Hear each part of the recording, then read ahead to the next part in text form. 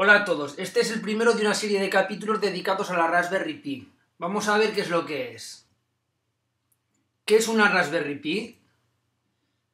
Una Raspberry Pi realmente es un ordenador. Es un ordenador del tamaño de una tarjeta de crédito, pero con grandes posibilidades. ¿Cuáles son las partes más importantes de una Raspberry Pi? Tiene un procesador Broadcom. No es muy potente, tiene 700 MHz, pero como veremos, es un procesador ARM que para lo que nosotros queremos es suficiente, sobre todo porque lleva una tarjeta gráfica capaz de mover alta definición. Tiene una salida HDMI, gracias a la cual la podremos conectar a una televisión o cualquier otro monitor, un puerto Ethernet 10 barra 100 para poderlo conectar a Internet, dos puertos USB 2.0, una salida de audio, una salida de vídeo compuesto, unos LED para indicarnos en el estado en el que está, un lector de tarjetas donde meteremos una tarjeta SD con el sistema operativo y los programas y finalmente un micro USB por el cual alimentaremos eléctricamente a la placa. El resto de conectores realmente a nosotros ahora mismo no nos hacen falta porque es para un uso un poquito más avanzado. Tiene múltiples usos, como vamos a poder ver. Podemos utilizarla conectando varias en paralelo como un servidor Conectando el monitor realmente es un ordenador con un sistema operativo completo capaz de navegar por internet y de hacer bastantes cosas. Podemos colocarla dentro de una bar top y tendremos una estación de juegos, como las máquinas recreativas que había antiguamente en los bares. Podemos colocarla dentro de un coche, dentro de un robot para poder controlarlos. O podemos colocarle una pantalla táctil y hacer con ella como una especie de tablet. Realmente estos usos son bastante avanzados, no son muy difíciles de hacer, pero ya requieren más conocimientos. Y vamos a empezar por algo más sencillo. Kits de iniciación. Son unos kits en el que ya nos viene la tarjeta Raspberry Pi y todo lo que nos hace falta para poder empezar a trabajar con ella, como es una tarjeta SD, un cable de conexión Ethernet, un cable HDMI y un alimentador para poder alimentarla.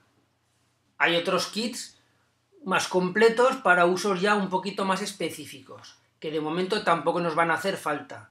Todo esto que vemos aquí generalmente lo tenemos ya en casa. Tenemos alguna tarjeta vieja, un HDMI que tengamos, un cable Ethernet cualquiera, también nos valdrá cualquier micro USB y un cargador viejo que tengamos, ya que no requiere especialmente potencia. Ya tenemos todo preparado. Comencemos la instalación preparando la tarjeta SD. Eso sí, a ser posible de clase 10, ya que dentro de la tarjeta va el sistema operativo, por lo cual, cuanto más rápido sea la tarjeta, más fluido irá el sistema. Bueno, pues lo primero que vamos a hacer es formatear la tarjeta SD. Antes de nada, quiero explicar una cosa. Hay que formatear la tarjeta SD, pero hay veces que la tarjeta queda mal formateada, para lo cual es importante utilizar un programa para formatearla bien. Esta es la página oficial de la Asociación de Tarjetas SD. Venimos aquí a Downloads y como veis aquí tenemos un programa gratuito para formatear las tarjetas SD. Aquí explica por qué. Como podemos leer aquí en inglés, hay un área protegida dentro de la tarjeta SD y que hay veces que al formatearla con nuestro programa de Mac o de Windows queda mal formateada y podemos dañar esta área protegida. Para lo cual, lo único que tenemos que hacer es descargar la versión tanto de Windows como de Mac. Venimos aquí abajo, aquí tenemos la versión de Windows y aquí la de Mac.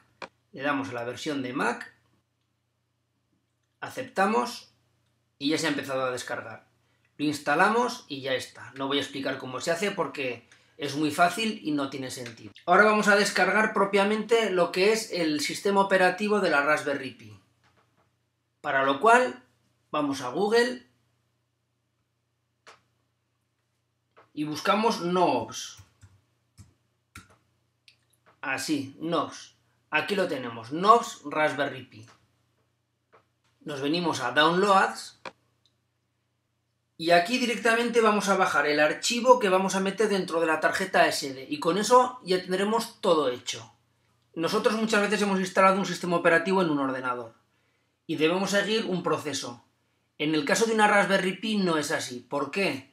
Porque los ordenadores son muy distintos unos a otros. Distinta RAM, distinto procesador, distinta placa, distinta gráfica, entonces tenemos que ir configurándolo. En el caso de la Raspberry Pi no tenemos ese problema, porque todas las Raspberry Pi son iguales. Por lo cual lo único que tenemos que hacer es copiar ese archivo en la SD y ya está. Aquí vemos que tenemos dos versiones. Una que pone aquí Offline and Network Install, es decir, es una versión muy ligera que lo que hará será descargarse los archivos que le hacen falta de Internet. Y luego, esta versión no le hace falta Internet, es decir, es una versión completa de tal manera que con esta versión la copiamos en la SD y ya no le hace falta ningún archivo más descargamos los dos. Podemos descargar el archivo zip o a través de un torrent. Y lo que vamos a tener son estas seis versiones de sistemas operativos. Raspbian, Pidora, OpenELEC, RaspBMC, RISC-OS y Arch Linux. Podremos instalar las seis, o las que queramos de ellas a través de un botador para nosotros elegir la versión que queramos. Una vez que se descargue, voy a parar la descarga. Una vez que se ha descargado, ahora nosotros tenemos que ir a nuestro explorador de archivos para copiarlo en la tarjeta SD. Ahora abrimos nuestro explorador de archivos y como vemos aquí tenemos los dos archivos que hemos descargado, la versión Lite y la versión normal. Vais a ver que la única diferencia entre la Lite, esta es la Lite, y esta es la normal, la completa. La única diferencia es que, como veis, aquí en la carpeta OS están los archivos correspondientes a los distintos sistemas operativos, a las distintas versiones que hay. Y dentro de la Lite, esa carpeta está vacía, porque lo que hace es, al instalar el sistema operativo, se conecta a Internet y descarga en ese momento la versión que le pedimos.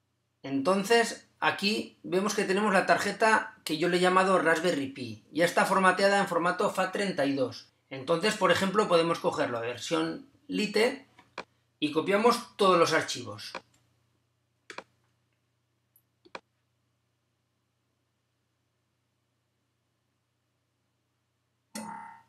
Y hemos copiado los archivos dentro de la tarjeta SD y ahora vamos a la versión completa y dentro de la carpeta OS tenemos los distintos sistemas operativos. Por lo cual vamos a la carpeta OS de la tarjeta SD y copiamos los que queramos. Por ejemplo, Raspbian y RaspBMC.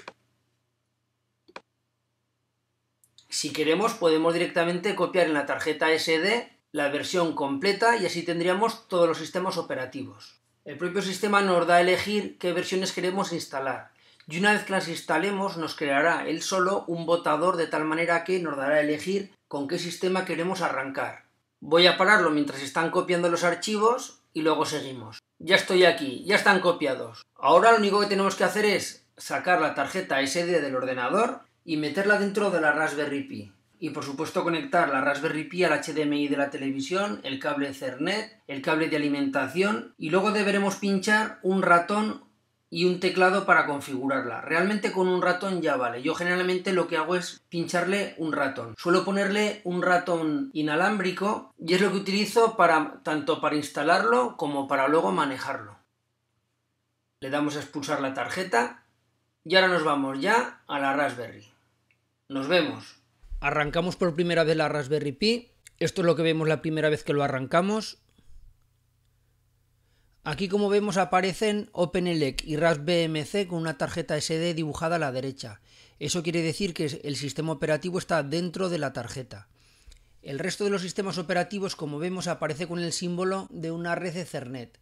Eso quiere decir que si queremos instalarlo deberá descargarlo de Internet. Elegimos el sistema operativo que queramos, en este caso OpenELEC y RaspBMC porque ya los tenemos dentro de la tarjeta. Si eligiéramos cualquier otro sistema operativo, es tan fácil como pincharlo y si no está dentro de la tarjeta, el sistema lo descargará. Ahora le damos a instalar y nos avisa de que se va a formatear y vamos a perder todos los datos. Decimos que sí y comienza la instalación. Ahora lo que voy a hacer es pausarlo. Como veis aparecen distintos mensajes igual que en cualquier otro sistema operativo explicando las características que tiene. Ahora nos dice que ya está instalado y que se ha instalado correctamente. Presionamos OK y como vemos ahora tenemos los dos sistemas instalados, OpenELEC y RaspBMC. Podemos elegir cualquiera de los dos para arrancar. En este caso, por ejemplo, le vamos a dar al primero, a OpenELEC. Arranca otra vez. Como veis arranca ya OpenELEC y como podéis ver es un XBMC la versión Frodo 12.2. Ya tenemos aquí el XBMC. Ahora nos pide el idioma. Seleccionamos el idioma que queramos. En nuestro caso vamos a seleccionar español.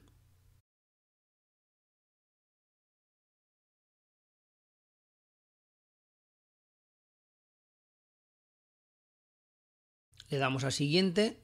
El nombre del equipo, por defecto es OpenELEC, si queremos lo cambiamos. La configuración de red, le damos a todo siguiente y ya está. En otro vídeo tutorial explicaré más detenidamente toda la configuración de XBMC, todas las opciones y cómo debemos configurarlo. De momento lo que quería es que vierais que es muy sencillo instalarlo y que en muy poquitos pasos tenemos ya un XBMC o un sistema operativo funcionando en una Raspberry Pi. Esto es todo. Un saludo. Adiós.